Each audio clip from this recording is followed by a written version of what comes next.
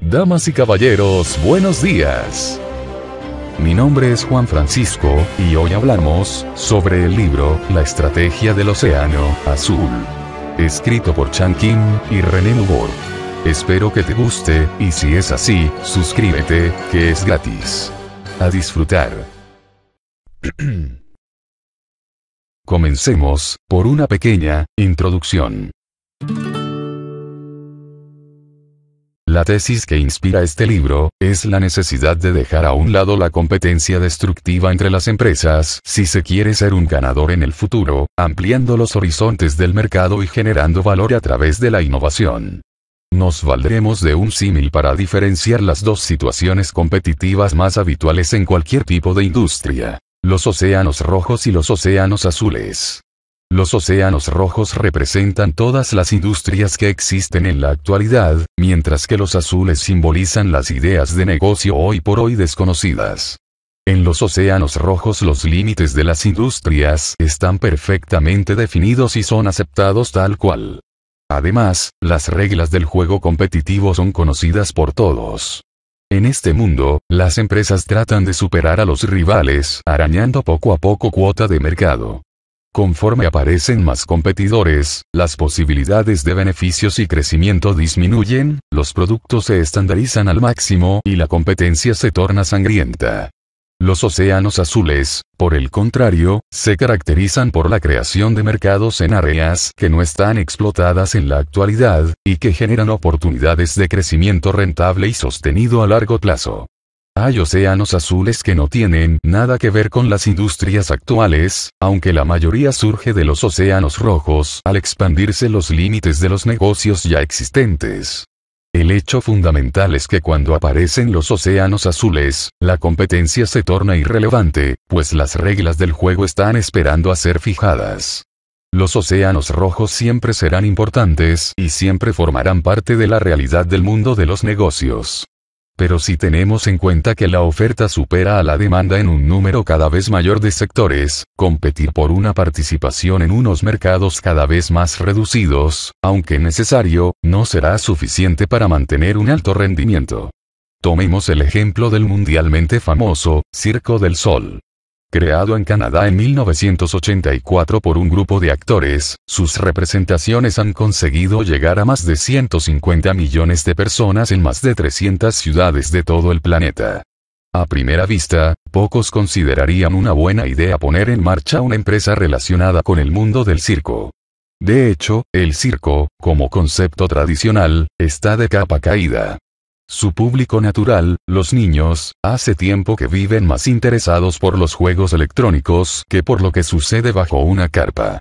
Antes de que surgiera el Circo del Sol, los circos estaban inmersos en una competencia feroz para ver cuál conseguía atraer a los mejores payasos, los mejores domadores, en definitiva, cuál conseguía tener más estrellas entre su elenco.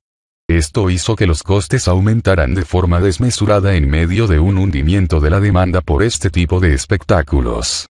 Esta batalla dejó de tener sentido para el Circo del Sol, que no podía ser considerado ni como un circo ni como una producción teatral. De hecho, consiguió romper las fronteras de la industria, tal y como se conocían hasta ese momento, al ofrecer a la gente la diversión y emoción propias del circo, manteniendo sus símbolos tradicionales, como la carpa, los payasos y los ejercicios acrobáticos, junto con la sofisticación y riqueza intelectual del teatro, cada representación tiene su propio hilo argumental, hay danza, se escucha música compuesta especialmente para la ocasión, etc. Por otra parte, las representaciones del Circo del Sol se dirigen a un público de todas las edades, no solo a niños acompañados de sus padres, lo que unido al carácter único de cada una de sus giras, ha hecho aumentar de forma asombrosa la demanda de este tipo de espectáculos, con el añadido de que puede cobrar tarifas parecidas a las de los teatros, superiores a la entrada de un circo tradicional. El Circo del Sol ha sabido crear un océano azul caracterizado por un concepto de espectáculo innovador, nítidamente diferenciado de las industrias preexistentes, circo y teatro, ha reducido los costes en aquellos factores en que la industria venía compitiendo tradicionalmente y ha ampliado las fronteras del mercado mediante la diversificación del público al que se dirige. El foco de atención primordial del pensamiento estratégico tradicional se ha dirigido hacia las estrategias de océanos rojos, en los que impera la competencia. Esto se explica en parte porque la estrategia corporativa está enormemente influida en sus raíces por la estrategia militar. Descrita en estos términos, la estrategia tiene que ver con el enfrentamiento a un adversario y con la lucha por un determinado territorio que es limitado y siempre el mismo. Sin embargo, a diferencia de la guerra, la historia de la industria y del comercio nos demuestra que los mercados nunca han permanecido iguales, sino que se han ido creando continuamente océanos azules a lo largo del tiempo.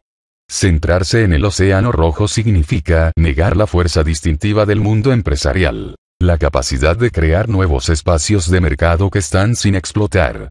Existen muchos libros acerca de cómo luchar en los océanos rojos, pero pocos son los que se preocupan por los azules. Este libro intenta cubrir este hueco. A continuación, presentaremos un método basado en cuatro principios para establecer una estrategia de océanos azules y la manera de conseguir implantarla con éxito. Comencemos, por el principio, número 1. Reconstruir las fronteras del mercado. El proceso de descubrir y crear océanos azules no consiste en intentar predecir las tendencias de una industria o sector a través de un ejercicio meramente adivinatorio. Tampoco consiste en implementar las nuevas ideas que surgen en la mente de los gestores utilizando el método de ensayo y error.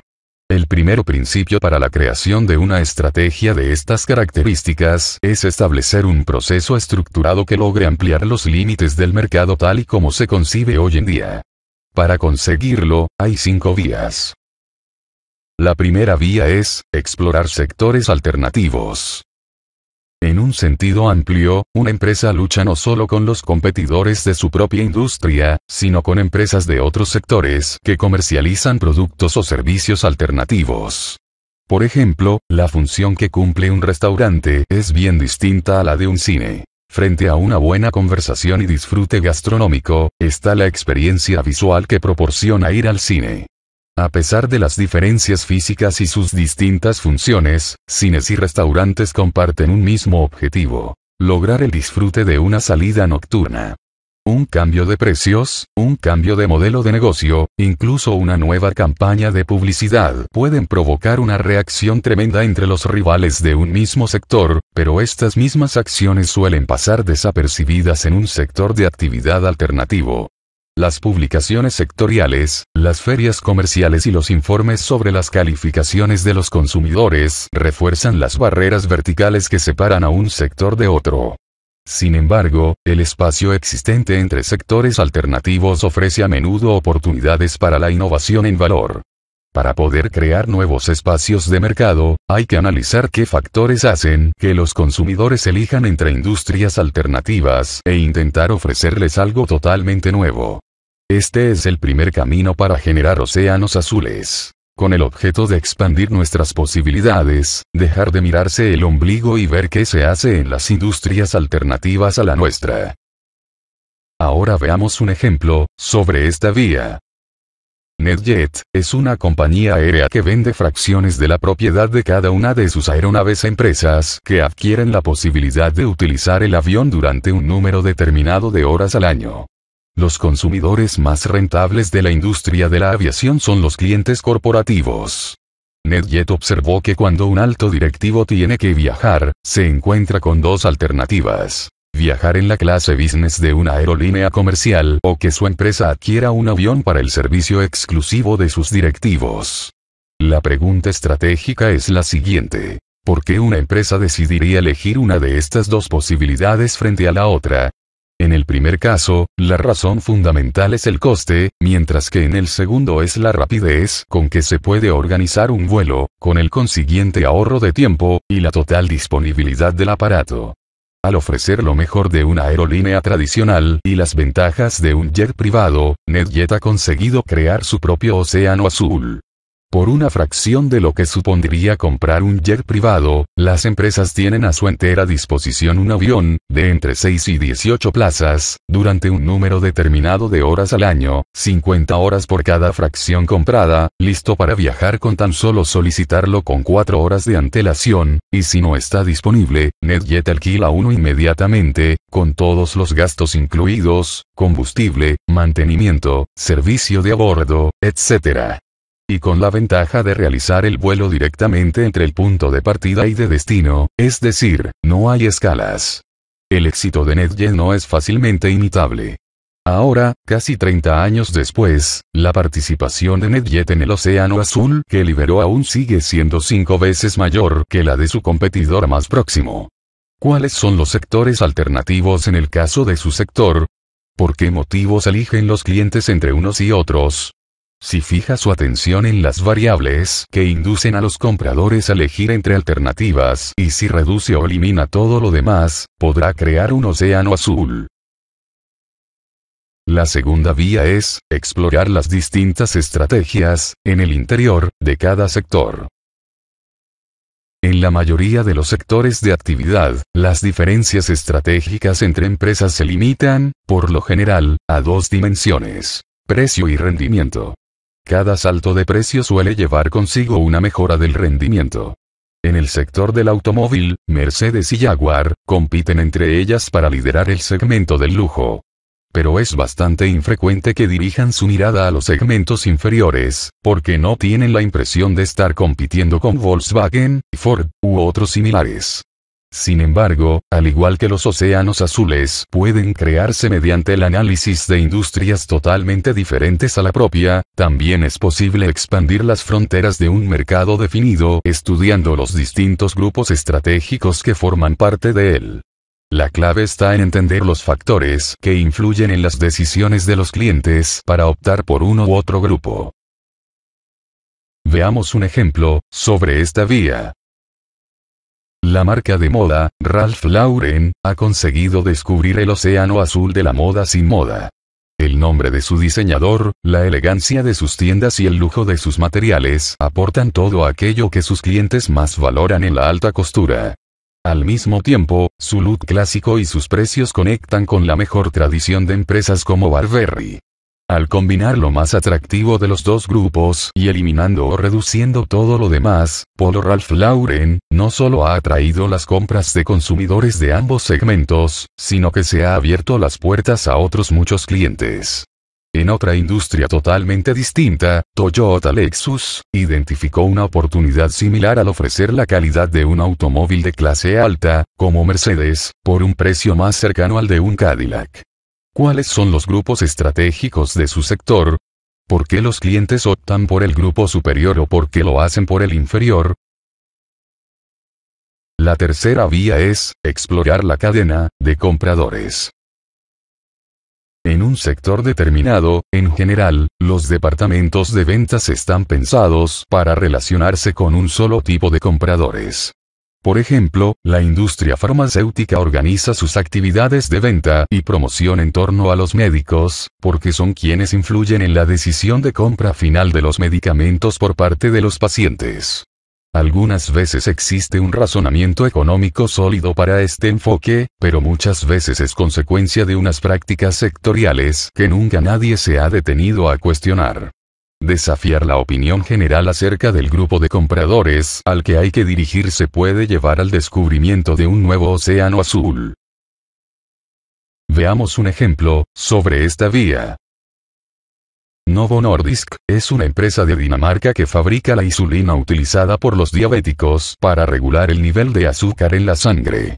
Históricamente, la industria de la insulina ha centrado su atención en los médicos, que actúan como prescriptores del producto. La pureza y calidad de la insulina era el parámetro fundamental que tradicionalmente arbitraba la competencia entre las empresas. Sin embargo, los enormes progresos conseguidos en la elaboración de este compuesto hicieron que todas las empresas alcanzaran prácticamente los mismos estándares de calidad, con lo que el elemento diferenciador hasta ese momento se desintegró. Sin embargo, Novo Nordisk vislumbró la posibilidad de romper con la competencia tradicional y preparar su propio océano azul, dirigiendo su atención no hacia los médicos que recetaban el producto, sino hacia los propios pacientes. Novo Nordisk reparó en los muchos inconvenientes que la administración de este medicamento presentaba para los diabéticos. Debían llevar siempre consigo jeringas, agujas y la propia insulina. Y mucho más importante aún, su administración intravenosa les causaba un desagradable sentimiento por cuanto esta práctica puede tener de estigma social. Este análisis llevó a Novo Nordisk a diseñar y lanzar al mercado el Novo Pen, un aparato con forma de bolígrafo para administrar la insulina, con varias dosis fácilmente dispensables. La estrategia de Océano Azul de Novo Nordisk transformó los límites de su industria, al pasar de ser una empresa productora de insulina a una empresa especializada en el tratamiento de la diabetes. ¿Cuál es la cadena de compradores de su sector? ¿En qué grupo de compradores se suele concentrar su sector de actividad? Si usted cambiara de grupo de compradores objetivo, ¿cómo podría generar nuevo valor? La cuarta vía es, explorar productos y servicios complementarios. Son muy escasos los productos o servicios que se utilizan con total independencia de otros. Imaginemos a una pareja que se dispone a acudir al teatro. No solo tienen que valorar lo que se va a representar en el escenario o el precio de las entradas. Quizá haya un niño al que habrá que dejar al cuidado de un canguro. Quizá el único medio de transporte sea el automóvil, con los inconvenientes del tráfico y las probables dificultades para aparcar. Muy pocas empresas reparan en qué es lo que ocurre antes, durante o después de utilizar un producto o servicio. Pero se trata precisamente de otra de las posibles vías hacia la elaboración de una estrategia de océano azul. Veamos un ejemplo, sobre esta vía. Navi, es una empresa fabricante de autobuses originaria de Hungría. Los mayores clientes de esta industria son las municipalidades que gestionan el transporte público. Navi, observó que el precio de cada autobús no era el coste más importante al que un comprador tenía que hacer frente. Después de todo, la vida útil de estos vehículos puede llegar a ser de 12 años. Lo más oneroso lo constituyen los costes de mantenimiento de las flotas. Las reparaciones tras los accidentes, los continuos cambios de ruedas debido al elevado peso de los vehículos o la corrosión de las carrocerías. Sin embargo, todos los fabricantes parecían luchar encarnizadamente por reducir únicamente los costes de fabricación. Navi, pensó en dar una solución a los altos costes de mantenimiento y para ello diseñó un autobús como no se había visto hasta entonces. Construyó las carrocerías con fibra de vidrio en lugar de acero. La fibra de vidrio evita la corrosión, permite una reparación de las abolladuras mucho más rápida, no se necesita desmontar todo un panel para repararlo, sino aplicar una nueva capa de fibra, a un precio muy inferior al del acero, y su ligereza hace que el peso total del vehículo disminuya y se consuma mucho menos combustible. Aunque Navi, cobra algo más que la media del sector por cada autobús, ha sabido crear un océano azul reduciendo el coste de mantenimiento a largo plazo y las emisiones contaminantes. Todo esto, unido a un diseño vanguardista, ha hecho que los ayuntamientos y los usuarios hayan visto crecer su valor. ¿Cuál es el contexto en que se utiliza su producto o servicio? ¿Qué sucede antes, durante y después de su utilización? ¿Puede identificar los puntos débiles o molestos? ¿Cómo puede eliminarlos por medio de un producto o servicio complementario? La quinta vía es, explorar el atractivo funcional, o emocional, para los compradores. En algunos sectores de actividad se compite principalmente por precio y por función, basada está en gran medida en cálculos de utilidad. El atractivo de un producto o un servicio se considera que es meramente racional. En otros, por el contrario, la competencia gira en torno a los sentimientos y las emociones de los clientes. Pero es curioso observar que el atractivo de la mayoría de los productos rara vez es intrínsecamente uno u otro, sino que generalmente es consecuencia de la manera en que las empresas han competido en el pasado, lo cual ha condicionado inconscientemente las expectativas de los consumidores. No es sorprendente que los estudios de mercado rara vez revelen nuevas percepciones respecto a lo que atrae a la gente.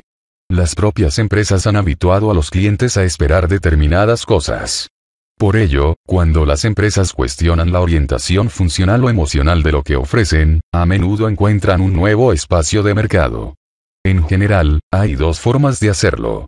En los sectores orientados emocionalmente, que ofrecen características adicionales que elevan el precio sin mejorar la funcionalidad del producto o servicio, cuando se deshacen de estos extras y crean un modelo de negocio más simple y de menor precio, pueden atraer a más clientes. A la inversa, en los sectores orientados funcionalmente se puede crear más demanda si a los productos genéricos se les agrega una dosis de emoción. Dos ejemplos bien conocidos al respecto son el de Swatch, que transformó el sector funcional de los relojes económicos con un nuevo concepto emocional cuyo motor es la moda, o de Body Shop, que hizo justo lo contrario, transformar el sector emocional de los cosméticos en un sector con un planteamiento funcional y sensato. Como puede verse, para abrir un nuevo espacio en el mercado no es necesario sentarse frente a una bola de cristal y tratar de adivinar lo que ocurrirá en el futuro. Cualquiera de las cinco vías analizadas puede ser eficaz para encontrar alternativas al statu quo reinante en un sector determinado. Ahora hablemos sobre el principio número 2. Centrarse en la idea global, no en los números. En la mayoría de las empresas, la planificación estratégica se basa en cómo competir en los mercados actuales, es decir, en los océanos rojos. Cómo incrementar la cuota de mercado, cómo reducir continuamente los costes, etc. En la elaboración de cualquier plan estratégico, los gestores pasan gran parte de su tiempo haciendo números en lugar de salir al exterior y pensar en cómo alejarse cada vez más de la competencia. Además, vistos con detenimiento, esos planes rara vez tratan de auténtica estrategia, sino que son meros movimientos tácticos que individualmente quizá tengan sentido, pero que tomados en conjunto no muestran una dirección clara y innovadora. Esto nos conduce a la formulación del segundo principio para la elaboración de una auténtica estrategia de océanos azules. Hay que concentrarse en la globalidad, no en los números proponemos una alternativa al proceso tradicional de planificación estratégica. En lugar de elaborar un documento formal, resulta más recomendable dibujar sobre un lienzo, y de la manera más clara posible, la estrategia que queremos implementar. Realizar este sencillo ejercicio no significa que no haya que hacer números y compactar todas las ideas en un documento final, pero eso será más adelante. Los detalles son más fáciles de ubicar si primero se tiene una visión nítida de cómo queremos distanciarnos de la competencia. A este ejercicio, lo llamamos, cuadro estratégico. Elaborar un cuadro estratégico nunca es fácil. Ni siquiera es sencillo identificar las variables competitivas clave. Tal como se verá, la lista final suele ser muy diferente a la del primer borrador. Por otra parte, la mayoría de directivos tiene una idea bastante sólida de cómo se desenvuelve su empresa y los competidores en una o dos dimensiones dentro de su área de responsabilidad o departamento, pero muy pocos son capaces de ver la dinámica global de su sector. Por todo ello, para elaborar un lienzo estratégico coherente, hemos desarrollado un método iterativo que ha sido utilizado con éxito en muchas empresas. El método consta de cuatro pasos, y en la tarea tienen que participar todas aquellas personas que posean un conocimiento profundo del funcionamiento de la empresa y del sector. Primer paso. Despertar visual. En esta fase se dibuja el lienzo comparando nuestra empresa con los competidores, estableciendo las variables competitivas y su respectiva ponderación. Se denomina despertar visual porque sirve para forzar el análisis de la situación actual. Todavía no hemos plasmado en el lienzo los posibles océanos azules susceptibles de alcanzarse. Se trata de una foto inicial a partir de la cual comenzaremos a analizar dónde pensamos a priori que nuestra estrategia puede cambiar. Segundo paso. Exploración visual. A partir de aquí, entramos a fondo a plantearnos uno por uno los cinco caminos que podemos recorrer para el diseño de nuevos espacios de mercado. En esta fase incluiremos en nuestro lienzo aquellas variables competitivas que podemos modificar, eliminar o crear. Para ello, un grupo de directivos debe realizar un trabajo de campo que los enfrente cara a cara con la realidad. Cómo utiliza o no la gente sus productos o servicios. Este paso puede parecer obvio, pero hemos descubierto que los directivos a menudo suelen delegarlo en otras personas o empresas de consultoría, a menudo desconocedoras de la realidad sobre la que informan. Una compañía no debería delegar jamás sus ojos. Michael Bloomberg, se dio cuenta de que los proveedores de información económica y financiera también tenían que ofrecer inteligencia analítica online, que ayudara a los usuarios a dar sentido a los datos. Él era el primero en reconocer que esta idea debería haber sido evidente para cualquiera que hubiera observado alguna vez a los operadores utilizando las pantallas de Reuters, o el Dow Jones Telerate. Con anterioridad a Bloomberg, los operadores de bolsa utilizaban lápiz, papel y calculadora para anotar las cotizaciones y calcular los valores razonables del mercado antes de tomar sus decisiones de compra o de venta, una práctica que llevaba tiempo y podía generar errores. Grandes ideas estratégicas como esta no son tanto fruto de la genialidad como de salir a la calle y cuestionar las fronteras de la competencia. En el caso de Bloomberg, la idea surgió al trasladar el foco de atención del sector de los compradores de tecnologías de la información a los usuarios finales, los operadores y los analistas. Esto le permitió ver lo que era invisible para otros. No hay duda de que el primer puerto donde debería hacerse escala son los clientes. Pero no hay que detenerse aquí. También hay que ir tras los que no son clientes. Este trabajo de campo puede cambiar drásticamente muchas de las conclusiones a las que hayan llegado los directivos en primer paso del proceso de creación de la estrategia. Tercer paso. Feedback. Después del trabajo de campo y de elaborar y reelaborar la estrategia, es necesario contrastar el boceto de cuadro estratégico y obtener el feedback de los no clientes, los clientes de los competidores y algunos de los clientes más exigentes de la propia empresa. Es probable que durante esta fase, alguna de las variables competitivas que se hayan considerado fundamentales, de hecho, tengan escaso valor para los clientes o no clientes. También puede suceder que alguna variable resulte que no estaba bien expresada o bien se hubiera pasado por alto durante la fase del despertar visual. Y por último, cuarto paso. Comunicación visual. Llegados a este punto, el lienzo estratégico está terminado. En él se reflejan la situación estratégica actual y la deseable, por contraposición al lienzo de la competencia. Lo más importante es que el resultado pueda comprenderlo fácilmente cualquier empleado. Hemos dado por supuesto que el lienzo se traza para la empresa en su conjunto, pero es posible elaborar lienzos específicos para cada una de las líneas de negocio de una empresa. Si este fuera el caso, el lienzo estratégico podría estar compuesto por los denominados pioneros, aquellas líneas de negocio en las que hemos identificado un posible océano azul. Los colonos, o líneas de negocio que tienen un lienzo estratégico idéntico al de la competencia, y los migrantes, que estarían situados en algún punto intermedio. Si la oferta actual y la planificada están compuestas por muchos colonos, se puede esperar un crecimiento razonable de la compañía, aunque esto significa a la vez que la empresa no está explotando todo su potencial y corre el riesgo de verse superada por empresas que innovan creando más valor. Cuando en una industria dominan los colonos, las oportunidades para crear océanos azules son mucho mayores.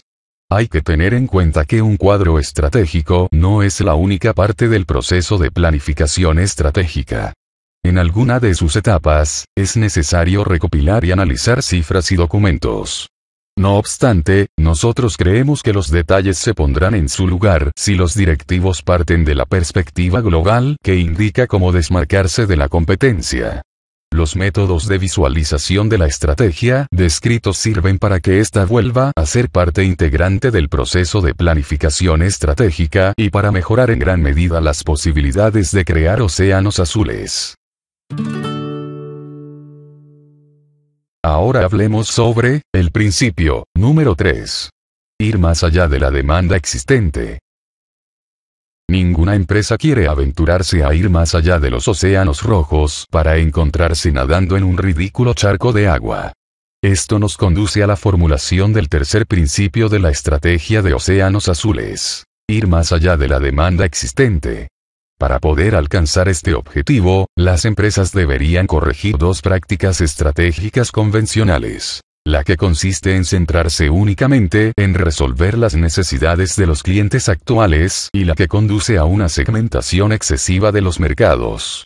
Cuanto más intensa es la competencia entre las empresas, más fuerte es el intento de personalización de la oferta de productos y servicios. El inconveniente es que se corre el riesgo de crear mercados objetivo demasiado pequeños. Para maximizar el tamaño de los océanos azules, las empresas, en lugar de concentrarse en los clientes, tienen que dirigir su mirada hacia los no clientes. Y, en vez de extremar su atención a las diferencias entre los propios clientes, deben potenciar los elementos comunes que todos ellos valoran. A pesar de que el universo de no clientes normalmente ofrece grandes oportunidades para crear océanos azules, son escasas las empresas que se preocupan por conocer sus características con el fin de atraerlos.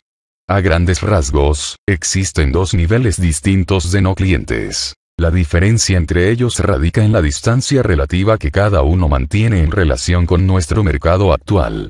Las personas que están a punto de convertirse en no clientes son aquellas que consumen en cantidades mínimas los productos y servicios ofrecidos por las empresas que operan en un mismo sector. En cuanto encuentran una opción mejor, abandonan impacientes el barco. En este sentido, están ubicados en el borde del mercado.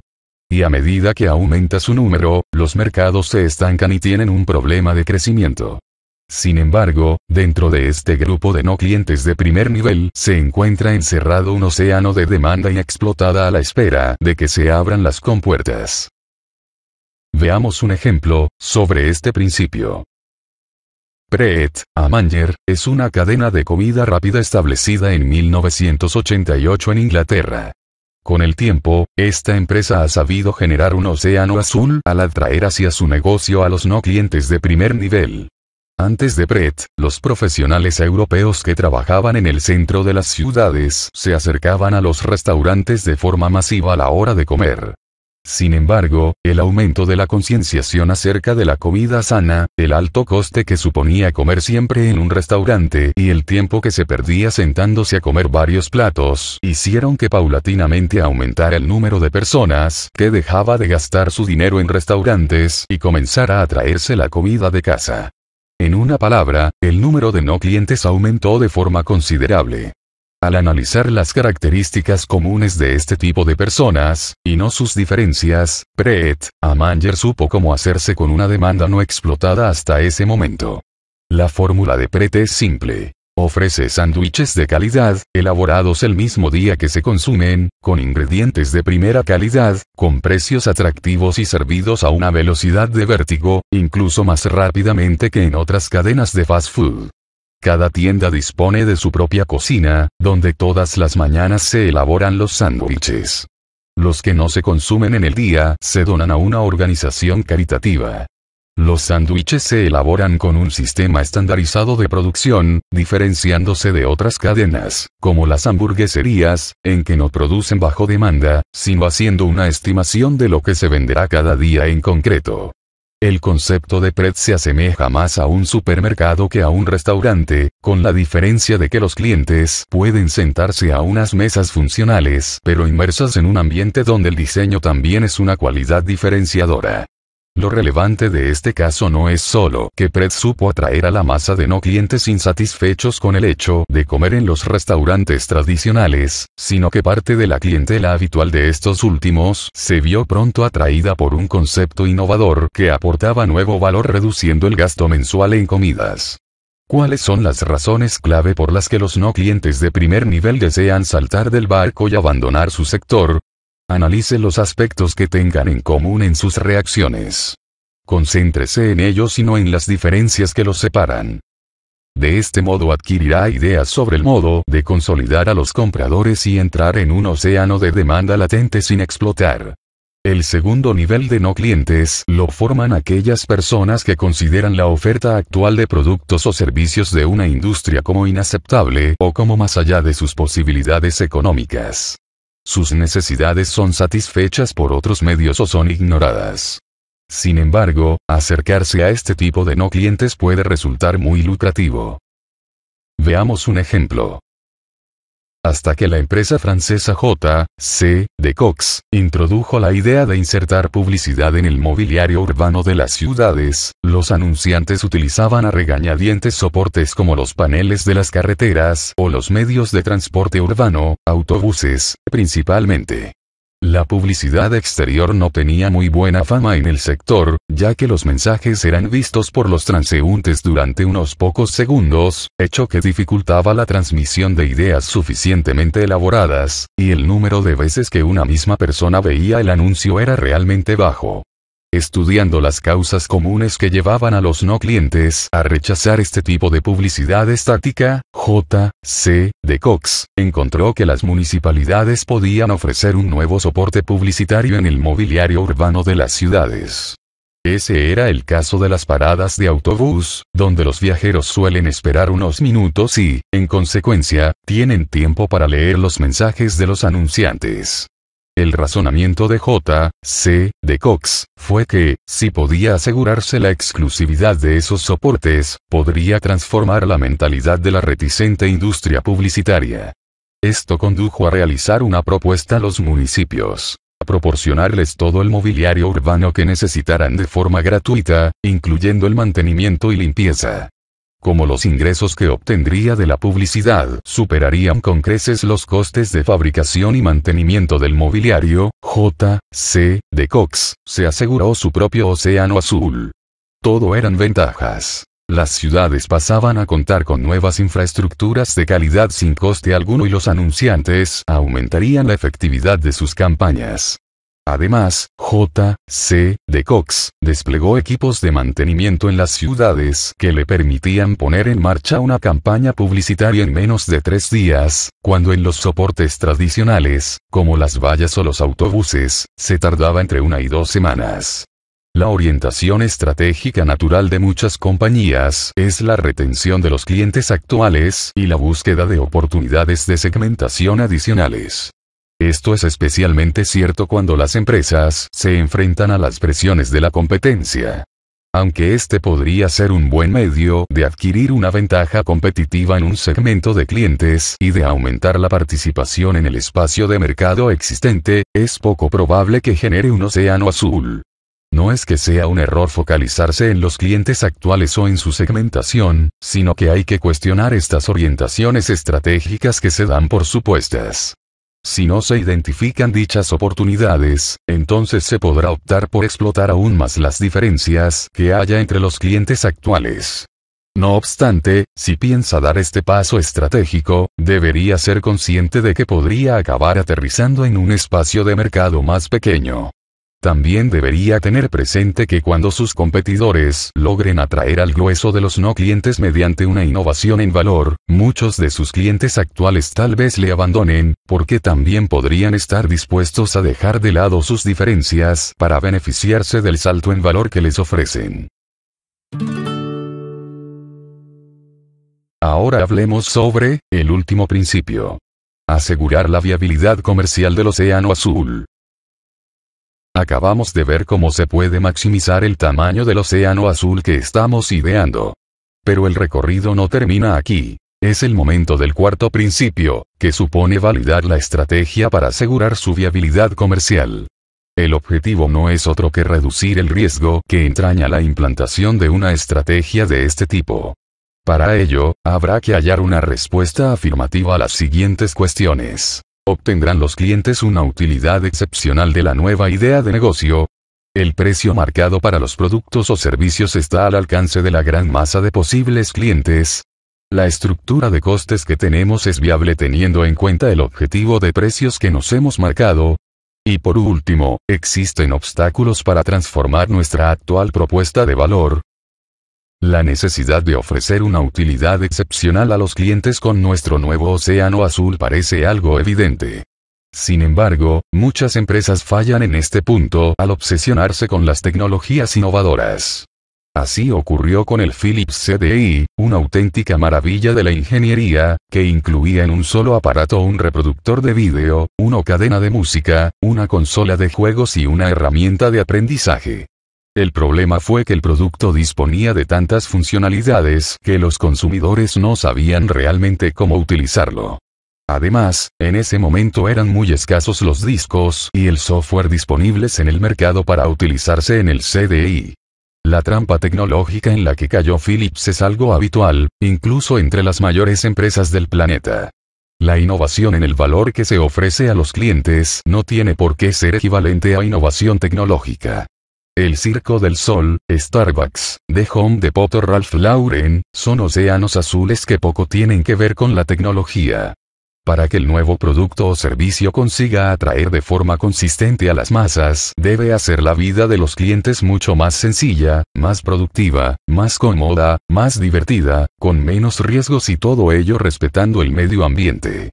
Además, debe hacerlo en cada una de las fases que conforman la experiencia de consumo del cliente. Compra, entrega, utilización o mantenimiento. La nueva propuesta no solo debe aportar una utilidad claramente diferenciada de la ya existente, sino que debe derribar los obstáculos que impidan a los no clientes pasarse a nuestro bando. El mapa de la utilidad para el comprador ayuda a los directivos a contemplar este asunto desde la perspectiva correcta.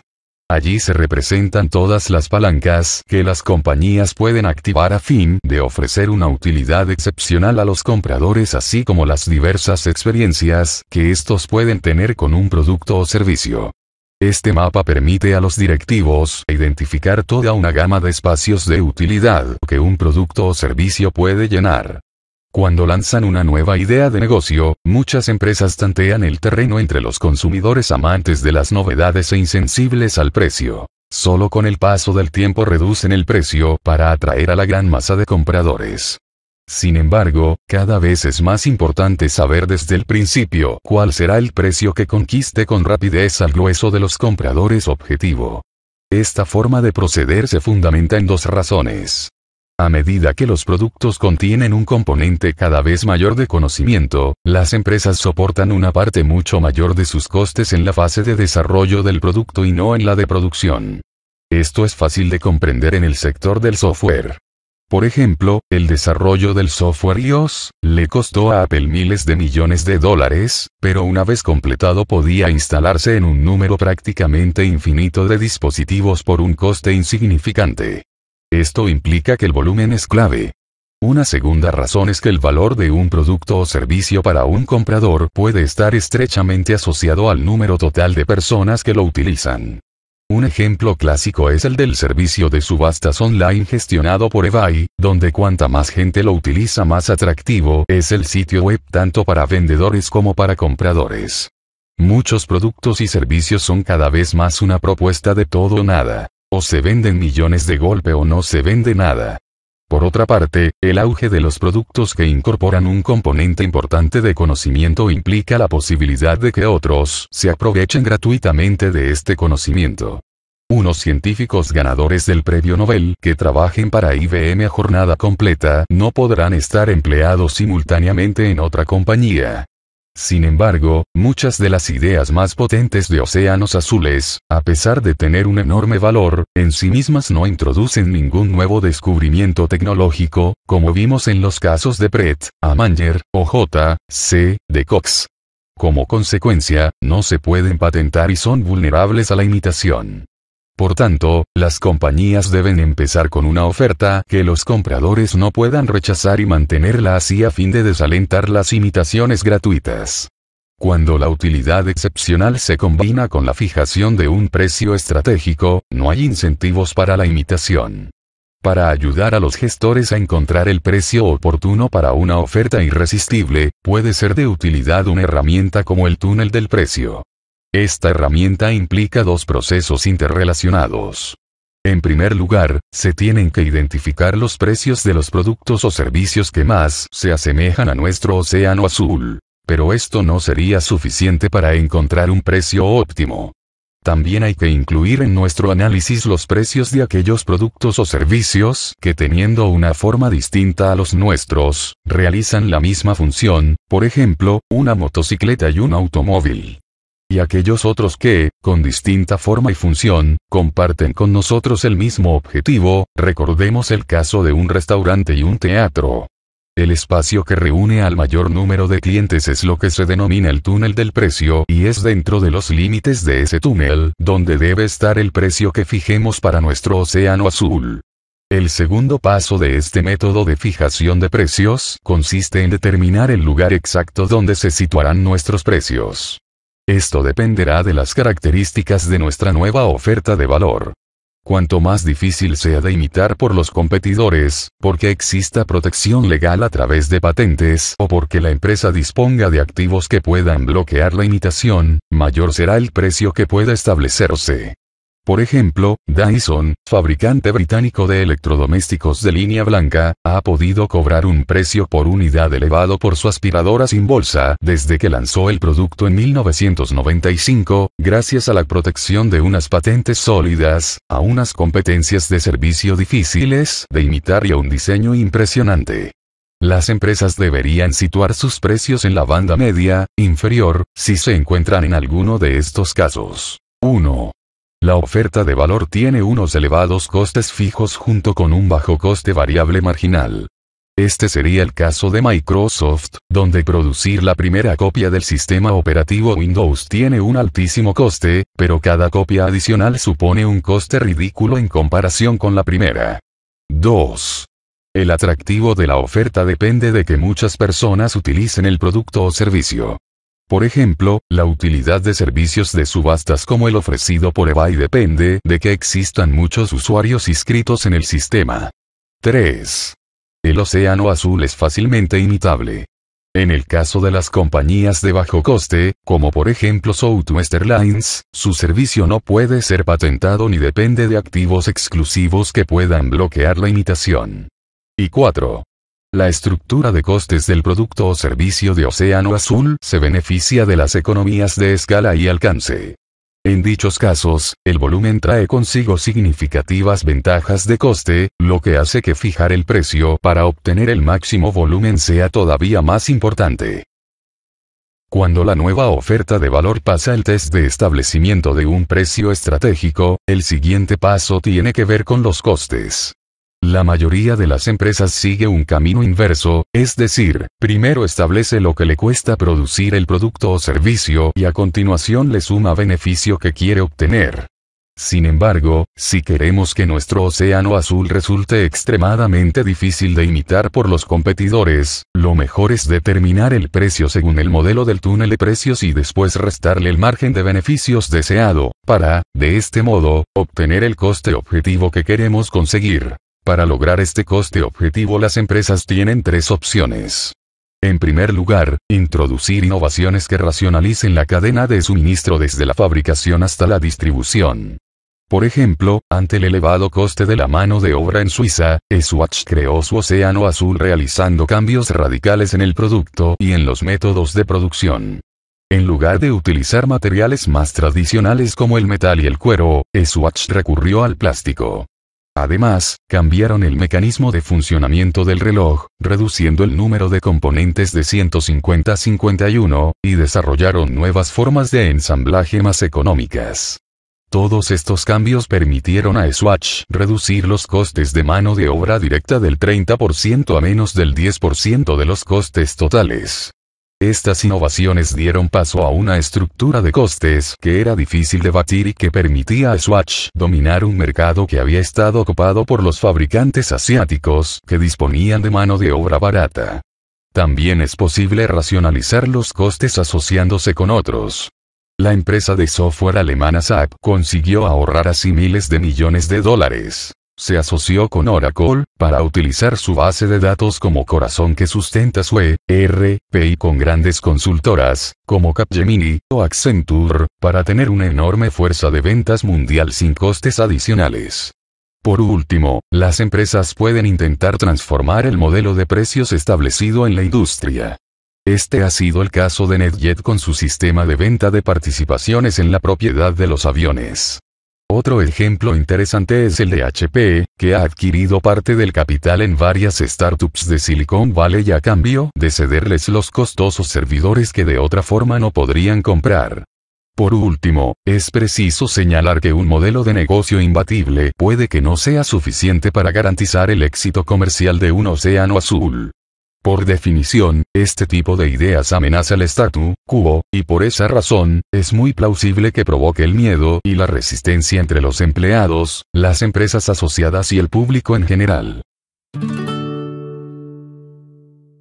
Por tanto, para finalizar, recuerda que los principios del Océano Azul son cuatro. 1. Crear nuevos espacios de consumo. 2. Centrarse en la idea global y no en los números. 3. Ir más allá de la demanda existente. Y por último, asegurar la viabilidad comercial del Océano Azul. Una vez aplicados los cuatro, nuestra estrategia está lista para ser implantada.